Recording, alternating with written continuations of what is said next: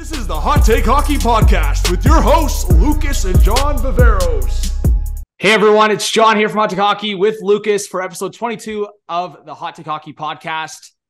Good chats on the way. We had a great guest last week, Sid Seixeiro. Good chat. Uh, he went on a couple little rants there, got the comments fired up, and we won't go too much into it. But obviously, there's a lot of other things that have happened where uh, Sid got ripped for for a clip, pretty heavy. So uh, that happened, and obviously back and forth a little bit, positive and negative, uh, gave us some extra maybe attention on our pod. But uh, Lucas, man, hockey news, a lot going on. Uh, how are you doing? And just uh, yeah, what's up? Doing well, buddy. Doing well. I mean, now that we're in that second half of the season, it's it's really seeing what teams uh, are going to match up with with other clubs to to play in the first round. Looking at those first round matchups, looking ahead to trade deadline, like we were talking about off air, and and and seeing you know some of these big pieces where they're going to go. I mean, I'm excited, man. I'm rejuvenated, ready for the second half, and uh, yeah, ready to talk some hockey here. I mean, why don't we kick it off with in related to Sid Seixeiro's rant last week, the Canucks. I know we probably don't want to spend the whole pot on it or anything like that, but just no. uh, just announced Bruce Boudreau was let go. Rick Tocchet brought in, like everybody expected weeks and weeks ago. John, uh, what's your what's your initial reaction? I know you made a video on it too. Yeah. Yeah. I dropped a couple videos. Yeah, yeah, guys, we're not going to spend too much time. I just, I think with the Canucks situation, it's ongoing. And obviously, we're just going to be forced to continue to talk about it because they'll, there's going to be trades, there's going to be news that comes out. So, uh, for this episode, because I already made the videos and I feel like we've already talked about it enough, I'll just put it out there that, yeah, it was disrespectful. I feel like they handled it in such a mess way. Like the fact that they actually called him into a meeting the morning of, it's like, what am I walking into here? like Boudreau knew it all along. He he appeared yeah. on morning shows. Like the guy was like, there was no surprises here. He was shocked that he was even there for that long. But uh, yeah, Lucas, anything else that we didn't talk about in the Sid chat? Like I just feel like all of it's come out now. It, it's done. It, it happened. Yeah. Yeah, I think I think with the you know last weekend's events, um, I haven't really touched on it yet. So just just from my perspective, I think it was yeah, like you said, John, totally disrespectful. And Bruce Boudreau, multiple times would leave media scrums and just say, "Hope I see you tomorrow," or yeah. like it just became a bit of a joke. I mean, a huge joke, really. Um, and Rick Tocchet, obviously going from the TNT panel to now the coach of the Canucks. We'll see where this goes. Um, I think that Rutherford thinks he's got his guy now, and we'll see what this turns into. But I still see the Canucks being a bit of a tire fire for the rest of the season and really needing a reset um, starting next season. I think this is uh, this season's pretty much done for them, unless Tocchet can somehow light a fire on, under their ass uh, for them to go on a huge winning streak. I, I don't see anything good yeah. coming out of Vancouver for the rest of the way. Uh, but in as far as Boudreau being let go, I think it's it's better for all parties now, and I hope we see Bruce Boudreau somewhere in media, man. I would love to see the guy like imagine a clean swap with Tocchet. He just goes to TNT. Like that would be sick.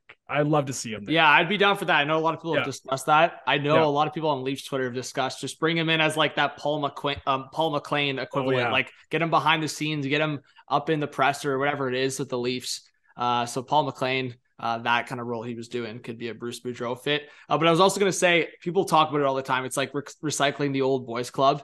And these guys now in Vancouver were all together at Pittsburgh. So Patrik Allvin, Jim Rutherford, and Rick Tocchet were all uh, on that Penguins team. And then I think Tocchet left the bench, and then Sergei Gonchar came in the following year. I'm pretty sure. Correct me if I'm wrong in the mm-hmm. comments, guys. no, so yep. like four guys in the picture of Vancouver now. When the within a few years there, we're all with Pittsburgh, but. Yeah, that's just kind of how it goes sometimes. So we'll see how it works. We'll see what the chemistry uh, brings, but I don't think too much at least in the near future, can fix this Vancouver Canucks situation uh, too much outside of what you just said, the Bruce Boudreau like momentum effect. Maybe they go on a stretch of winning games, but like in terms of actually fi- fixing the situation, it's not going to happen overnight. No. Um, so yeah, we can just move past that. I honestly, I feel like every time I get into the Canucks, it's just rambling on because there's so much you can discuss. There's so much yeah. to go over that there's like no cap on it. Yeah. Okay, so let's let's chat all star stuff and just yep big names on the board. Uh, I don't feel like maybe maybe you feel differently, Lucas. I, I feel like a lot of people are trying to pull snubs out of the equation, and obviously different conversations now. Like everyone was complaining about Cole Caufield, he is done for the year now. Uh, but I feel like even especially in the Atlantic, like were there really sure there were snubs, but there were there really guys that you could be like, all right, they're way ahead or like definitely a big time miss? I think that, what was voted in at least. Yeah, I really don't think there was really big big time misses. I think there's guys that you absolutely could make a case that they should be there, maybe over a guy like we talked on last week's pod, maybe or maybe over a guy that you know is on a lesser team that shouldn't be there, but because of the rules that are enforced with a with an all-star per team, that caps you know the team size. And so, yeah. you know, an example that I look at too when you when you look at the Atlantic, um, you know, maybe William Nylander really does deserve to be there. It's his best season of his career. Yeah. But when you're going to do that, are you not going to have Auston Matthews there and not have one of the biggest stars uh, in hockey at the event? I mean, that's tough. That's a tough sell. But obviously, these were all fan votes according to the NHL. So all these guys that did get fan voted in, the last three on each team, you can't really argue it because the fans voted it in, at least according to the league. So I, I don't want to uh, speculate on because I know there's there's whole all these rabbit holes on are these votes legit and whatever. I mean, let's let's give the league the benefit of the doubt that these that these voting votes were legit. Um, and I think that the three guys on each team, for the most part, I mean, deserve to be there. You look at Matthews, Marner, Vasilevskiy. You look at um, Rantanen, MacKinnon, Hellebuyck, like Draisaitl, obviously, like I think that overall it's really a non-story, and I think for the most part, the three guys that got voted in on each team really do deserve to be there. Yeah, that's kind of what I was feeling. I just think, yeah, it's limited spots as it is, and back yeah. to that Nylander conversation, sure. I but I think Matthews' season continues to be like overlooked. Of course, he's not having it to that standard, but just because I mean it's Auston Matthews, I just think you have to have him there. Uh, mm-hmm. It's kind of a balance. Like it's you want the best players this season, but you also like Matthews is right there in the conversation with a lot of things. And I do think uh, that was the right call. Um, but as we said, like the guys that I pointed out, at least like Pastrnak, Horvat, Draisaitl, like down the list, I don't think they had this huge miss. Uh, the only one that I kind of looked at and I was just like, really, is that the best option was Stuart Skinner? But then you think about division versus division, and yeah. Stuart Skinner has been one of, if not the better goalies in the Pacific Division. Like Obviously, the second half of the Pacific is pretty weak. So, I mean, you could go then you're just going apples, you know, apples to apples with like a Marty Jones or something, and and then yeah. you know, and then the same debate will happen. Exactly. Yeah, so, I, think I I do want to point out though that uh, Jay Fresh Hockey on Twitter he did post um an image of all of the players that should be there if there was no cap, if there was no rule on having a player per team. Yeah. Listen, I'm a big fan of this idea um, because then you have guys like Rasmus Dahlin who really should be there um, getting in, and uh, you don't have a Montreal Canadian there. Sorry, Habs fans, your team's not very good this year. I mean, that's just the reality of the situation, right? So I don't think we'll ever see the league move to this because I think they want a player from each team and to bring all they the eyes, right? It, yeah. Right, they want the eyes. But but I did want to shout out Jay Fresh Hockey for putting that together because it, it was a it was a cool uh, cool uh, piece of work there. No, 100%. And I think what you just said is so key. Like, sorry, Habs fans again, but directed towards Habs fans is like having Suzuki in and, and not having Suzuki in makes the world of a difference in terms of Habs fans watching. Like, mm-hmm. and think about the the size of the Montreal Canadiens fan base, one of the biggest in the NHL. So you take the Habs player out of that equation, and a lot of people are just sitting there going, "Yeah, I don't care to watch it this year, mm-hmm. or I don't mm-hmm. care to watch it tonight." So that's the big part. We can complain all we want, but we have to look at it in that perspective, especially when major markets are not doing as well that season, uh, especially like two teams like Chicago and uh, Montreal. Even though Seth Jones, I. I, I don't think that was the best candidate, but no. uh, Chicago obviously is having it tough this year. So yeah, yeah just in terms of All Star, we I mentioned Caufield Lucas, I know we were going to talk about it. So Caufield out for the year, Josh Norris out for the year, and who am I missing here? Max oh, Pacioretty. Max Pacioretty out for the year. So yeah, wow. I mean, the Pacioretty. I, I think the Caufield one came out of nowhere, but I think the more so disappointing ones here, Norris and Pacioretty, because of well, the Sens trying to get back in the conversation, but Pacioretty's road man, like, and especially Carolina being a Cup contender, two massive situations. We just talked off about the uh, Pearson and that rehab not going well, and now him having to go through another thing. Like, seems like it's happening a lot right now with different teams. Yeah, Max Pacioretty is is definitely a sad one, and we'll we'll focus on that one here to start. I think that him coming back from that Achilles injury, and you know all the work that he did to get back, and for him only to play, I think it is, I think it was four games. Uh, yeah, um, and, handful, yeah. and and with that last game, like the way the injury went down for him to to sever that other the Achilles again, um, it's just fluke, man. Like it's so sad to watch because it's one of those things you you wonder what could have been done to prevent it. And the only thing that I can even think of is maybe being more cautious on his return. But yeah. other other than that, man, it, it's just a fluke accident, and it sucks because he's obviously in the later stage of his career. And correct me if I'm wrong, but I don't think he has a contract next year. So he's he's no I think, pending UFA. So really tough situation. Yeah. So like what happens in a situation like that when the offseason comes around and he's not signed by Carolina?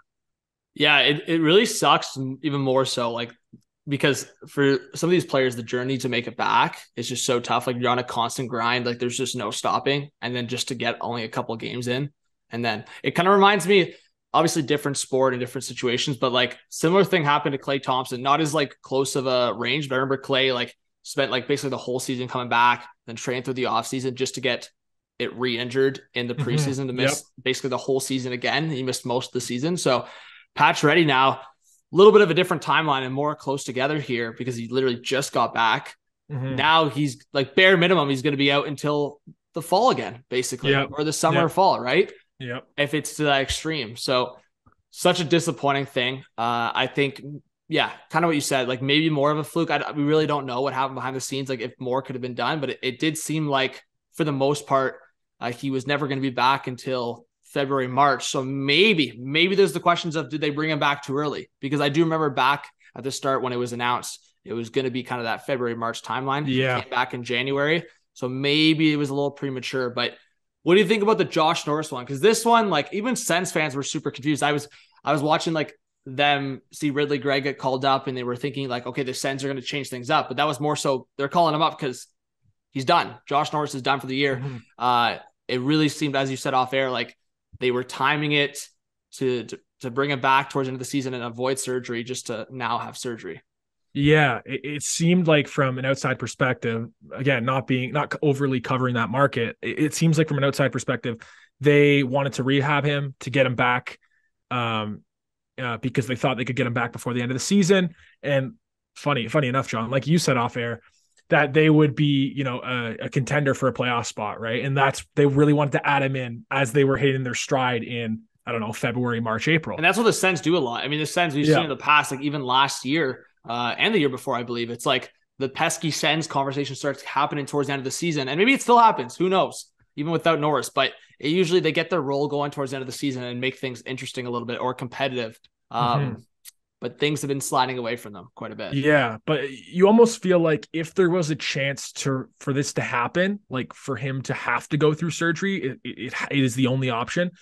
Why take a risk on such a cornerstone of the franchise? Um, I get the short-sighted thinking at the beginning because you're thinking, you know, obviously Ottawa management thought that this season was going to look a lot different, and it hasn't thus far.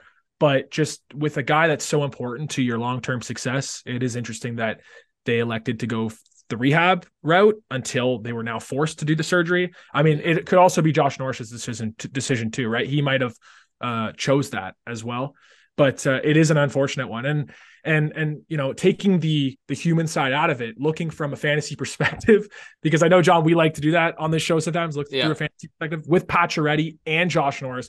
Both of these guys were hidden gems for your fantasy team to stash them and now you've stashed them for all this time for essentially zero return. I mean Pacioretty you got a few little points but josh norris you got nothing. So um yeah it's interesting balancing those two things um but unfortunate for both guys that they got they're out for the rest of the season, and we'll see uh, when they come back in in the in the fall, hopefully. Yeah, all the best to those guys. That's that's yeah. really tough. And then even for Caufield, yep. I know everyone wants to make the comments on like, oh, this is making their case strong for Bedard. Uh, yep. But yeah, Caufield, I honestly, Leaf fan perspective, like I I wanted to see him the rest of the year and see what he was doing because he was kind of ripping it up in, on a on a team that's not doing well. Uh, mm-hmm. But yeah, back to Saturday quick, Lucas. Connecting, we're connecting a bunch of different conversations here. So the Leafs lose to Laval, and uh, the Laval Rockets, buddy. Yeah, you know what? I think uh, I I took a nice 24 hours, and I was sitting there and going, well, weren't we just talking about Bedard to Montreal, and that's gonna be a stronger case with no Caufield? Well, Good, good win, Montreal. You took yourself farther away from Bedard. no, I, thank, thanks for giving us the point. Thanks for us. Yeah, we got a pity one, point. Right? The Leafs love yeah. the pity point, right? The Leafs yeah. love the pity point, and Montreal got themselves farther away from Bedard. Maybe it's not the worst thing ever. Loser mentality, folks. Loser mentality. yeah. Uh, no, I just quickly, man. What do you think of that game? I think they they dominated them in the first period. I mean, it, it, looked like boys against men that whole first period. And I uh, I looked over to uh, the uh, the family I was watching with on the couch, and I said, "Man, the Leafs the Leafs should run these guys out of the building. Like this should be a six, seven, seven goal performance." And it looked like it was going to go that way, John. Like in the in the first period, like they should have had three or four goals in the first. Um, but uh, yeah, I mean, they just got completely outplayed in the second. And I'm pretty sure in the third, if I'm if I'm not mistaken, Montreal didn't have a shot until like five six minutes left. Like they were stuck yeah, on I don't know when it was. shots. there was a gap. There was a gap. They were stuck sure. on 23 shots for like 20 in-game minutes almost. Like it was it was absurd. Um, but you just knew, like you just knew that uh, Montreal was going to find a way to win that game. You just oh, knew. Josh Anderson's such a Leaf killer. I'll I'll own it every time because yeah, I mean Anderson's goal in the Habs uh, crawl their way back, but yeah, just what a garbage goal. Like, I'm not going to put it on Samsonov because he's been so good lately, but just a short side Rem Pitlick random wrister that that wins the game. Like, so random. so I was random. expecting, I was expecting like a Suzuki or Anderson like highlight reel goal, but yeah, just a random Pitlick wrister. So yeah, it's whatever. It's a, the storylines never change. The Leafs play down to their opponents, even though they yeah. were dominating at times. But it, it's the same old story. And for me, like I said last week on the on the show, I think I finally accepted that uh, Boston's out of reach. I've I finally accepted it now. Everybody, the Leafs are coming second or third in their division. Boston is too far gone at this point. Yeah, I mean, at the end of the day, I think we got to start flipping the mentality. If if yeah. everyone wants to just admit that Toronto and Tampa are playing together, then like I'm down for that. Yeah. But Lucas, I'll, I'll flip it on the other side. Like I think we're more so now just hoping that Tampa goes through a rough patch and one of Florida or Buffalo go on a miracle run. And I am much more confident of the Leafs against either of those teams, even though, again, playing down to their opponents, who knows? The Sabres, I could see that that happening because it happened against Montreal. But uh, I now there's more of a chance of that happening versus the Leafs catching Boston. I would agree. yeah. I would agree. I would agree, but I will still say, come on. I, I just they're don't playing the Bolts. yeah, yeah, they're, they're playing the Bolts. Let's. I'm, the Bolts. I'm, accepting it. I'm accepting it. I, I, mean, if I'm wrong, great, but they're playing the Bolts. All right, so continue to connect the conversations. Yep. What do the Leafs need to do to beat the Bolts? Well, Elliotte Friedman, I think over the weekend, cited that the Blue Jackets are giving Gavrikov permission to speak to teams on a potential extension. He is going to be a big trade deadline target. And Friedman outlined the two teams, or two of the teams, sorry, that are interested are the Oilers and Leafs. So, Lucas, man, is Gavrikov a target you like? I mean, he's got a little bit of an edge to him. Not that right shot guy, but a guy that you can fit into the top four, kind of what they're missing maybe with Muzzin, less experience though. Uh, is Gavrikov the guy? Do you think Edmonton Toronto could be uh, teams there, or are you looking at someone else? I like the idea of Gavrikov. I like the player Gavrikov. You know, I, I've always liked the way he plays, and he's got that snarl, and he blocks a lot of shots, and and the defensive responsibility he brings, uh, and the tenacity he brings. Having said that, John, like I've just been on this wagon recently of I don't think the Leafs have to do much on the blue line. Like I would just I don't want to use assets and valuable cap space yeah. to address the blue line. I would much rather do that up front. So if Gavrikov comes in at, you know, a mid round pick or a very mid level prospect, I mean, maybe it's appealing. But if it starts getting ridiculous and there's multiple buyers in there, I just don't see the value um, for the lease perspective because I think that they need to add that top six guy or that third line C. Um, yeah. But that's where I sit on it. I, have been very comfortable with the Leafs D for a while now. Like I, I don't think the Leafs D uh, as currently constructed uh, is necessarily a problem or needs to be upgraded. I see maybe one piece coming in that can help them, and maybe that is Gavrikov. But if it if it overextends uh, what you have to deal, um, I don't think so. What about you? Yeah, I think it really depends on yeah what you said. Assets given up. Like I wouldn't give up more than like a second and maybe middle of the pack prospect. Like there's yeah. no chance you're giving up the first, especially with the hit, the recent history of trades with the Blue Jackets. You're not trading a first to Columbus again. You're just not. Uh, the other one that was popped up into conversations is the Leafs. I think it was Seravalli or Johnston, one of those guys throughout that the Leafs have interested and they have been interested in uh, Jake McCabe from mm-hmm. Chicago. Uh, that's a guy that has that already uh, further cap down the line. So I think it's two more years at four million per. Uh, so that could be a like a similar comparable to Gavrikov for an extension. I could see like them pulling like longer term. He's 27, so maybe you sign him four per longer after this. Uh, but Jake McCabe is the one that's more interesting for me because I think last year they brought in the Lyubushkin type, and I Jake I think Jake McCabe's more capable on the back end in other aspects than the Lyubushkin is. But if we know one thing from Jake McCabe, he likes laying out the hits, and I think Leaf fans would love uh, McCabe on the team as well.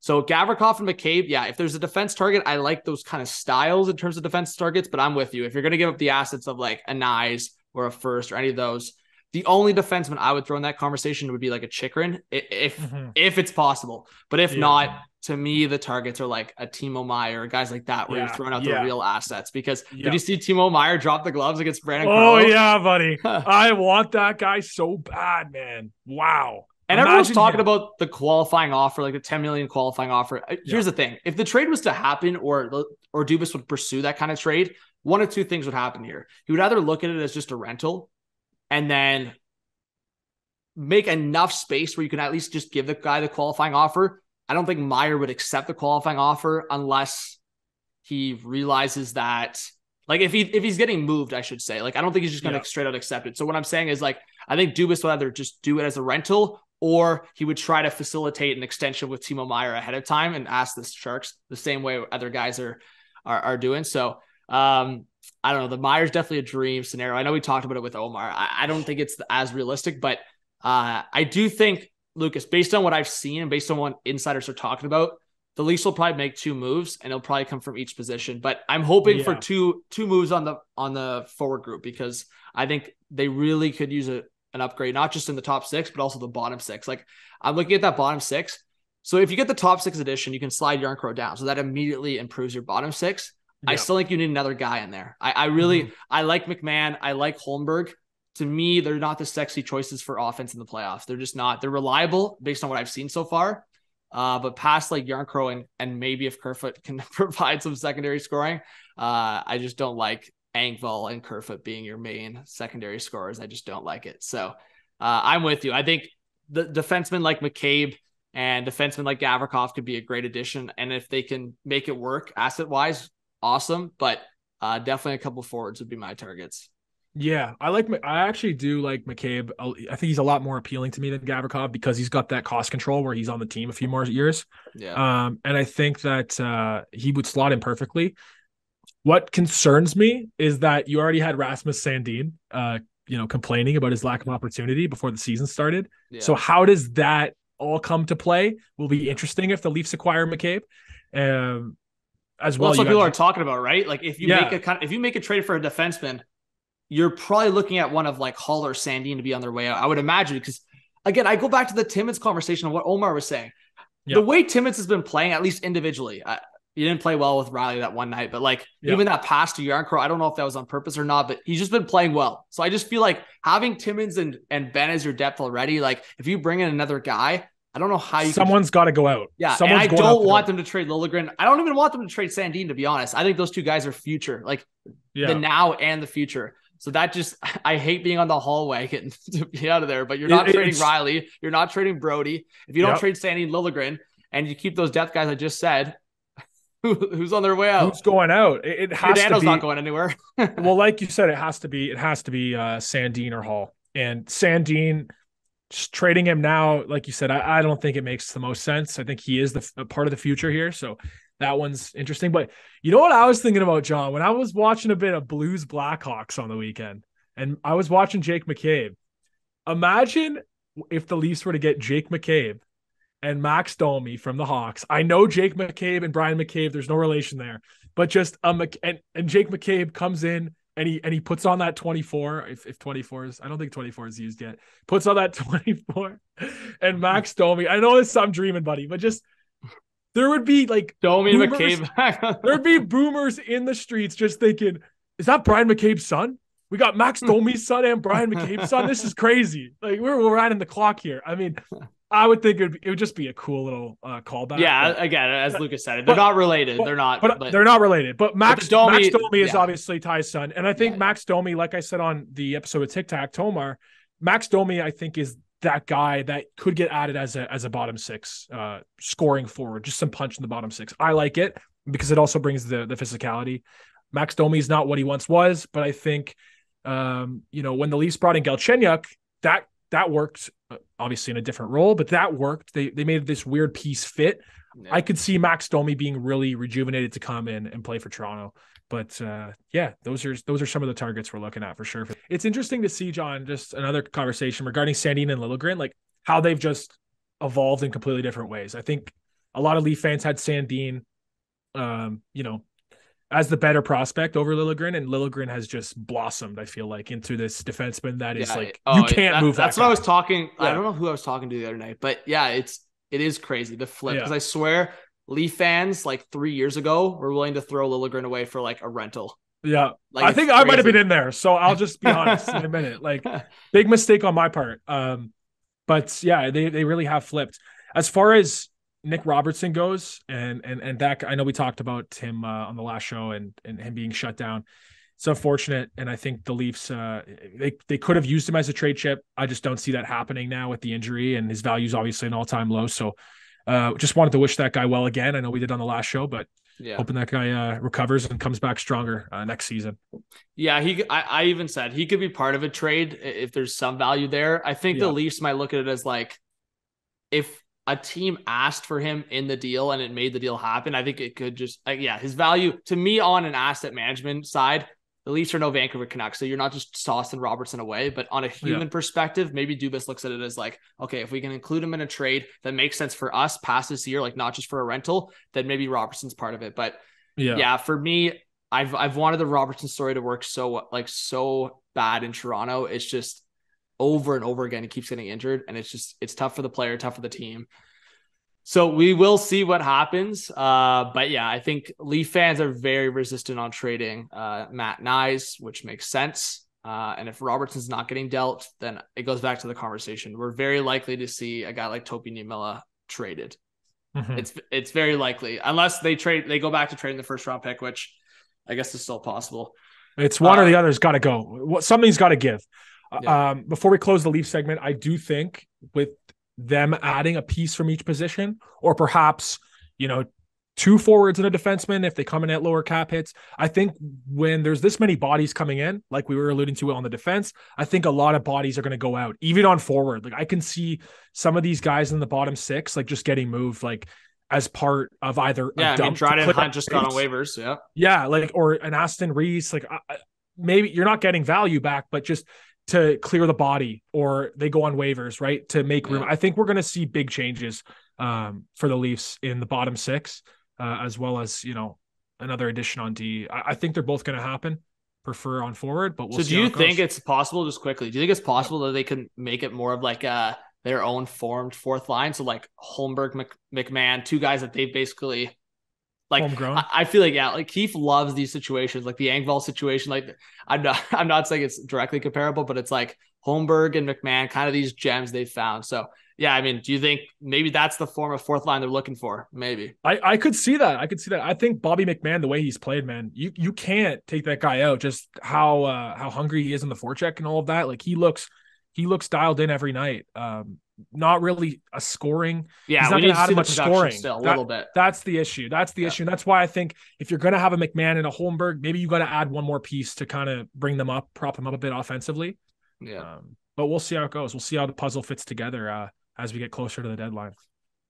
Yeah, so good Leafs chat. Just to talk about another Canadian team, Lucas, and the Calgary Flames. And obviously, they've been a big discussion for us, especially the big move they made and just going into the season. But uh, Daryl Sutter's comments, I know we talked about it. Uh, crazy on Jakob Pelletier. This guy, major sarcasm, probably a little disrespectful. I would say, uh, personally, for me, I think it was major disrespectful. But guy pulls up the roster and the ice time and just no sense of opinion or care at all. Just completely read off the paper on Jakob Pelletier after saying what number is he acting like he doesn't know him. So I think as a coach, super disrespectful. I mean, I like Daryl Sutter's personality and I like a lot of what he's done in terms of like on ice hockey, but uh, that was just I don't know, Lucas. Did you feel the disrespect there?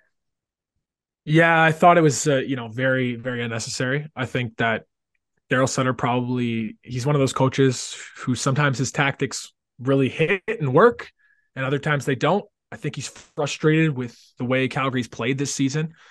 I mean, no no one is shocked that they should be higher up in in, in their own division. Yeah. But for a guy playing his first game, John, I mean, just kind of unneeded, right? Like just a bit of a tough uh tough comments to read or or watch after uh, your first NHL game, right?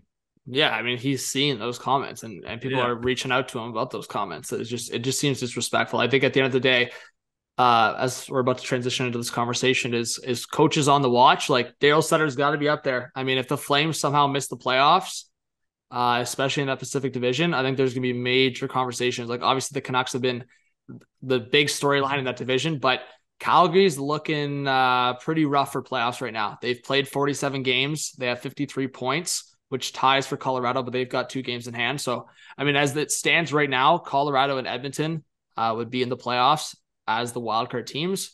Uh, and Calgary, and I know we've talked about the Blues a lot. Like those two teams, I feel like we had them pretty locked in, or at least pretty confident they were going to be in the playoff spot, and and they're pretty safely out right now. Yeah, Daryl Sutter, even just just a comment like that too just adds more fuel to the fire. Your your job is already like I'm sure in Calgary they're evaluating what There's they want to do with coaching, sure. yeah. right? And and if they need to do a reboot for next season. And so when you see things like that, it's almost like, is this guy like trying to force his way out of here? Like, what is this about, right? Um, Craig Berube for St. Louis, 100% he's on the hot seat. I think uh, the Blues may look to do some sort of revamp, and we might see that at the deadline, right? With O'Reilly and Tarasenko coming back from injuries. If those guys are moved on like yeah. they're expected to, this could be some form of a retool on the fly, and there could be a new coach uh, in St. Louis, uh, if not by the end of the season, by start of next season.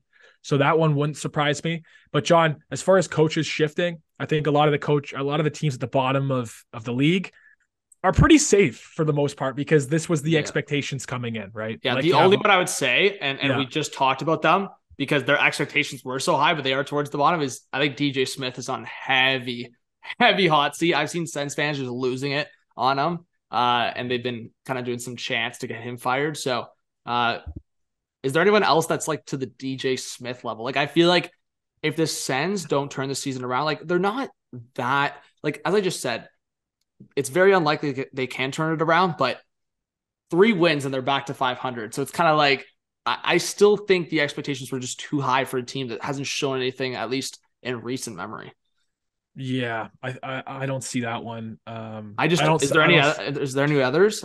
I'm trying. I was think. thinking of John Hynes for Nashville, but he's just re, he just signed last season, so I, I, feel like that might be a bit of a rush to. to well, and I go. feel like in the Central, how tough it's been. Like I feel like they're 22, 18, and six right now. 50 yeah. points in 46 games. The fact that they're only three points back at the Avs, like I feel like, yeah, kind of what you said about Berube. I feel like the Blues will be facing much more criticism because I don't think Nashville is expected to make playoffs or at least be a contender. Yeah, um, I think um, Nashville Nashville's expectations coming in were probably a, a bubble pretty team. mediocre. That yeah. that should probably make it, but you never know. Where St. Louis, I think, was picked by a lot of a lot of people to uh, be a top three division team, right? Yeah. Outside of that, I mean, Columbus uh, maybe some people had them as a hot take team, but they weren't expected to be great. Uh, the Flyers were expected to be bad. Uh, the Blackhawks were expected to be bad. The Coyotes were expected to be bad. San Jose and uh, Anaheim. So those teams, as you kind of said, towards the bottom, they're pretty safe. Uh, but I would mm-hmm. say everyone in terms of uh, who you're looking out for, DJ Smith definitely on the watch. Craig Berube. I would say even Daryl Sutter of Calgary missed the playoffs. Yep, and absolutely. Any others? Is that our top three? I know I mean, some people have thrown out Lane Lambert with the Islanders a bit, but yeah, I, well, and in a world where Edmonton, if Edmonton was to miss the playoffs, God, God forbid, I mean, look out there, right? Yeah, no, hundred percent. I mean, the Oilers, Lucas. If I'm, I'm like, I, be, I'm being honest, like I think they're going to yeah. make it hundred percent because I just yeah. think that Pacific is so tight like they're only three points back of top of the division. like yeah. that's crazy. It's crazy. So you're right. I think we'll keep seeing that Pacific Division flip flop uh, between those five teams. I would say, but in terms of I had to put like a bet down right now, I'm still confident the Golden Knights and Oilers will be two of those top three teams. I'm still very confident, but I, but I, have been wrong I, I many feel, times. I feel that way too when I see Colorado in eighth uh, in in the conference, obviously in the second wild card. When I see Colorado there, I just it would be miraculous for them not to make the playoffs. That I see them there, and it's almost just a joke. Like I, I don't I don't take them seriously as a team that will miss. So that leaves everybody that's outside looking in right now in a real tough spot for me. Uh, yeah, Calgary if they're to get in, like who are they knocking out? Right? Is is really well. What's is, crazy is like I know people talk point percentage, so I'm not going based on points point percentage right now, but it's like there's a world where Vegas and Edmonton play in the first round. And I think that would be nuts. But there's also a world where where I just said, like I I said I think last week or the week before was like, damn, like I wanted that other Battle of Alberta, and it seems like it's not going to happen this year. But in a world where Edmonton gets back into the division spot and Calgary strings a couple of games, like we're back to that uh, Battle of Alberta conversation. But Seattle continues to be a, a team that's just they're buzzing. And to they're me, it's buzzing, out of nowhere, but their offensive depth is insane. Like Tanev was playing so well for them, and he's back on the fourth line, and they have one of the best like third lines in hockey, one of the best fourth lines in hockey. Um, man, you put that bottom six of Seattle in Toronto. Oh my! I don't even think we're talking about an addition made. Like, get ready for the playoffs. Absolutely, man. I watch a lot of their games actually. Funny enough, like I will hop on late at night and watch those Kraken games. And a lot of it is to hear it's funny to say. A lot of it is to hear their their goal commentary with the hey, hey, what yeah. do you say? Or the or the what's the what's the other one? Oh, what's this guy? Johnny, do you know this guy's name off by heart? Uh I'm trying to put you on the about? spot. It's it's the guy that calls all the Kraken games, and it's that's hockey, baby. Oh, you're talking about John Forslund. Yeah, yeah John, bro unbelievable. Like he he makes me want to watch Kraken games. I'm serious. Like I have watched over a dozen Kraken games this year just for that, right? Yeah, I thought you uh, were referring to like a mascot or like a personality or something. Yeah, no, no, no, no. John, John Forslund, that was like John one Forslund. of the best decisions they made, bring him in as the the franchise came through. Yeah, John Forslund, he's probably one of my, he's probably one of my favorites right now. I, I wouldn't say all time, but just yeah, the energy he brings, and I like it. Announcers or commentators that like always. I mean, we've always had the Joe Bowen, Holy Mackinaw. I love commentators yeah. that like have their own things, like have their own lines, have yeah. their own catchphrase. Yeah. Uh, it just makes them a little bit more recognizable or iconic. Like I, I, feel like a lot of hockey fans like like that's what you recognize them from. Not maybe not even his name. that's how you recognize them. So uh yeah. no, that's pretty cool. But yeah, the Kraken have been a great story. I do want them to make the playoffs. Um to be honest, and sorry, I was actually gonna rep the Kings jersey for this uh, episode, but I just threw on the Panthers because uh just uh just repping the Atlantic a little bit. But well, it's almost buddy, it's almost all star weekend, and you're yeah. wearing the Panthers jersey. There yeah, you go. There you go. There's the tie-in. So, but what I was gonna say is no no shot against the Kings, but if I had my I, ideal Pacific Division matchups going to the playoffs, I'd want the two and three spots to be Edmonton, Calgary. Let Seattle drop to that first wildcard spot and have the two expansion teams play against each other, Seattle and Vegas. That would be unreal. Give me those matchups. And then the other side too, you could have Dallas, Colorado, Winnipeg, Minnesota. Winnipeg and Minnesota, like over the years, they've been there's a little rivalry going there. A little bit. Absolutely. I don't yeah, yeah, there is, man. I don't know about as much as the Leafs, but uh yeah, Winnipeg's got Winnipeg's got a rivalry with Minnesota too. Winnipeg just they're just such a snarly team, man. I yeah. feel like they get they get under a lot of team skin. So and Winnipeg, um, I mean, they're like I said, they're they're big. Like they have big guys on that team up front, and oh yeah, uh, Minnesota's got some threats like Foligno, Ryan Reaves, Greenway. Like there'd be some freaking haymakers thrown in that series, or even like in general. That Central Conference or Central Division, I mean, is like even Dallas. Man, I feel like Dallas will be so pesky in the playoffs. Like I'm excited for playoffs. I mean, I am We're- every year, but yeah, we're looking at. Uh, I mean, we're staring in the face some nice matchups. I, I hope that happens. What you just said, man. Battle of Alberta and then a battle of the expansion teams. That's must see TV, right? Yeah, I hope that's. I hope that goes down. Um, yeah, because I think LA Kings fans. I feel like you can wait until San Jose and Anaheim catches up, and then we can have the California rivalries in the playoffs again. Those yeah, are those underrated. awesome. Those were so awesome, and I hate that they were so underrated because uh, those rivalries were as good as any. So absolutely. Well, let's hope that Bedard goes to. Actually, I was talking about it the other day. Is uh, Anaheim Bedard in Anaheim with Zegras and uh, McTavish? Imagine, but I honestly, I'll leave my take. I do want Bedard in San Jose. I think I, I still stand by that. I like that one. I like that one a lot. Yeah. Um, I I wouldn't mind Columbus because I, I, like I had said. I wouldn't. I wouldn't mind Columbus either. I, yeah. I, like the like the Rick Nash feel of that first overall guy that comes in and like, like, puts the franchise on his back. And this is obviously not even just a superstar. This is a generational player. Um, I think he would bring Columbus a, a lot of a lot of season oh, ticket holders. Bedard with Laine and yeah. Gaudreau would be one oh, of the yeah. best. Yeah, yeah, that would be sick. But but yeah, I love I love San Jose. I love California as a whole as far as the state goes and everything that they bring. So that would be awesome. Bedard in in uh, California, whether it's San Jose or Anaheim. Yeah. So I think that about wraps it up. But just in terms of Columbus, the conversation, Gaudreau returning to Calgary. Uh, I know a lot of you will probably be listening or watching after the fact, uh, but just quickly, your opinion based on what we don't know yet. Do you think it should be a nice reception, or do you think some fans might be a little aggressive? I think he's going to get both. I, I, I don't want to sound like a fence sitter, but so not to I, the Tavares level though. No, no, no, no, no, no. I think he'll get his his dues before the game, um, or when they do the tribute. I guess during the game. Um, but he's gonna get some boo birds as well, Johnny. Let's not let's not forget what he uh what he did uh leaving the club, uh leaving his uh, drafted team. I think he's gonna get some boos, but Tavares is a there's nothing like John Tavares is. I don't think we're gonna see again for a very long time. That was that was uh hostile, very very hostile. Yeah. Um. Yeah. And, and oh, I hope he tucks tonight. By the way, I hope yeah, he scores. I, hope I That's yeah. a nice skull prop to put down if you're yeah. if you're looking. But yeah, I was also just gonna say, talking about guys leaving their teams or, or missing to certain guys. Hyman, man, Hyman first point per game season over a point per game season. Lucas, I don't think there's any Leaf fan that's looking like. I'm sorry, looking back at that, especially now the extra additions and guys have grown into the team. It's like the money that went towards Kerfoot and Engvall could be Mr. Zach Hyman right there, eh?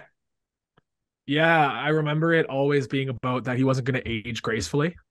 Um, but he's just getting better. I think it, it's a it's a credit to his perseverance, work ethic, work ethic yeah. all of that stuff, right?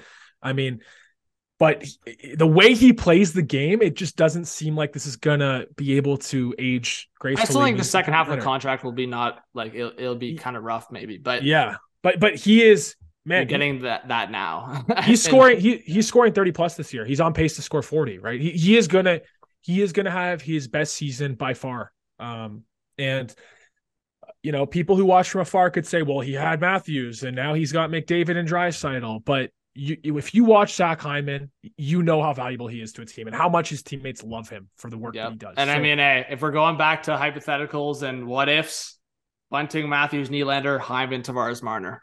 But I remember, I do remember hearing about this, but man, the Leafs, the Leafs don't bring in Bunting and develop Bunting like they have if they have Zach Hyman. I, I don't, I don't think so at least. But that's well, a now, now Bunting's going to need a contract. so you're back, you're yeah. back to where you were with Hyman. Bunting needs a contract. I think you are. Uh, Hyman, surely his deal is going to be more expensive than what Bunting ends up getting though. Yeah, my prediction I was I think Bunting will be um, I think they'll try to lock him long term. Yeah, four million per. Four million per. That's what I think Dubas is going to try to aim for. Because I think at at all like they were always trying to lock in Hyman under 4 mm-hmm. and I think Hyman's value is higher than Bunting's. Mm-hmm. So I mm-hmm. think they're not going to make that same mistake. If Bunting wants four, four point five, they'll give it to him. I don't think they'll ever get to five, but around mm-hmm. that four range, they'll probably try to get the years up so the cap goes down. So that would be my prediction. Yeah. Yeah, and tough, you're back, like you said, you're back. At, you're, well, you're back at square one, where it's you really got to think about is that worth it, right? And yeah. is that going to age properly?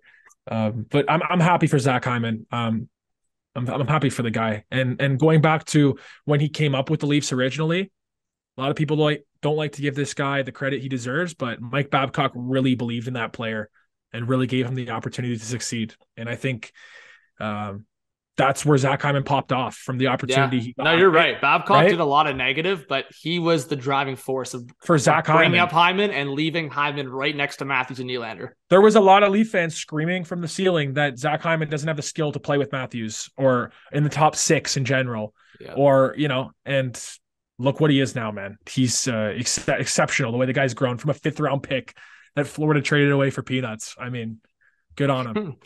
yeah. yeah. Well Hyman, all the best to you in Edmonton. I, am hoping the Leafs can make it farther than those than those guys over there. I I like Edmonton. Don't get me wrong, but the fans have been on my ass lately. So yeah. Anyways, thank you guys, right. Lucas. Anything else you want to just throw in at the end here? I think next week, John, we should look at uh, some of the All Star competitions and stuff, and maybe poke in on that. Maybe uh, with, predictions, with, yeah, yeah, with with All Star Weekend. Coming Yeah, so maybe up, guys reach out to us. Quick predictions, comments on yeah, that. Absolutely. And uh, um, yeah, outside of that, we'll keep chatting trade deadline. We'll keep chatting uh, standings. We'll keep chatting teams in what direction, coaches, all that stuff. Uh, but yeah, trade deadline chat. I would say as we move this podcast into February, we're going to be heating up with trade deadline talks oh, a month yeah. leading into the deadline. So thank you guys for listening, watching. Make sure if you haven't yet, follow Spotify, Apple, rate us well. Uh, give us some feedback. Uh, watch on YouTube. Hit us up on social media. Lucas, John, this was episode 22 of the Hot Take Hockey podcast. Hope you have a great one. See you soon. Peace, Peace. out.